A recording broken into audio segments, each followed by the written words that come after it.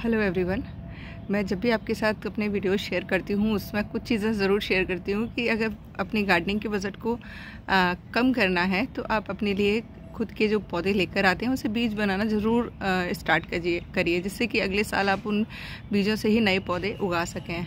ये देख रहे होंगे रेड स्टार पिटूनिया ये मैंने बीज से उगाया है और ये देखिए पहला फूल खिल गया है।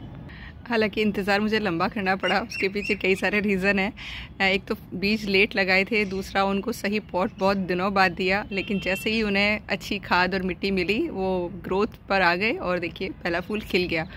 दूसरा पौधा ये है, जिस पर देख रहे होंगे, खूब सारी बर्ड बनी हुई हैं। अब इस पर देखते हैं कि कौन सा फूल खिलता है, ये भी मैंने बीज से ही तैयार किया है। तो मैं आप लोगों को यही रिक्वेस्ट करना चाहूँगी कि जो भी पौधे आप उगा रहे हैं, सर्दियों वाले जो उग रहे हैं आपके गार्डन में, उनके बीज बनाकर ज़रूर रखिएगा और उनको बीज को हार्वेस्ट करने का टाइम भी याद रखिएगा जिससे कि वो बीज जो है आपके पास सालों साल सुरक्षित रहें और आप अपने गार्डन में कलर्स रेगुलर ऐड कर सकें।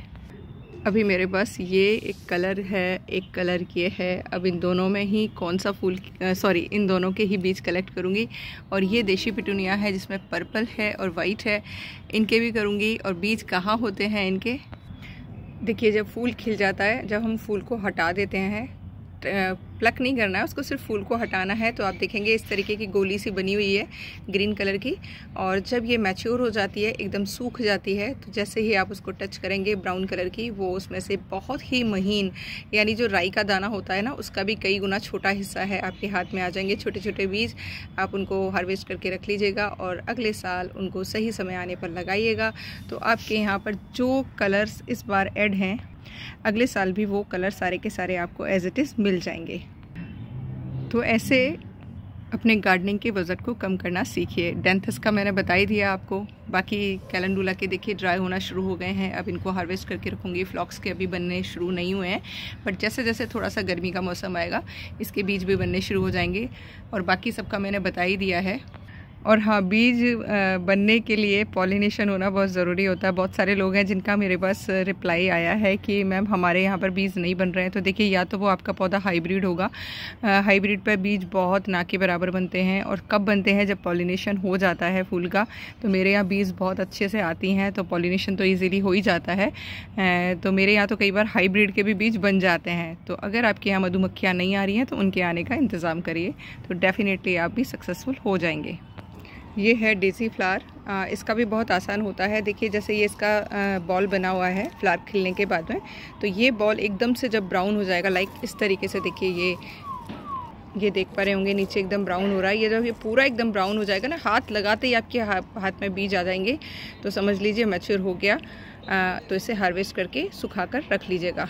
ये देखिए, पेंजी का फ्लावर है और जिसमें बीज देखिए, फूल खिलने के बाद जब पेटल्स हट जाते हैं तो अगेन ये देखिए बॉल बन रहा है इसका और जब ये एकदम मैच्योर हो जाएगा, दैन इसको भी आप हार्वेस्ट करके रख सकते हैं। और ये बन रहे हैं ब्रोकली के। देखते हैं इसमें कितने बीज बनते हैं और अगले साल इनसे जर्मिनेशन कैसा रहता है, ये मैं आपके साथ अगले साल ही शेयर करूँगी, अगर मैं वीडियो बनाती रही तो। बट बनाइएगा ज़रूर, क्योंकि ये बहुत छोटी छोटी सी टिप्स हैं जिनको फॉलो करके आप अपनी गार्डनिंग के बजट को बिल्कुल ज़ीरो कर सकते हैं।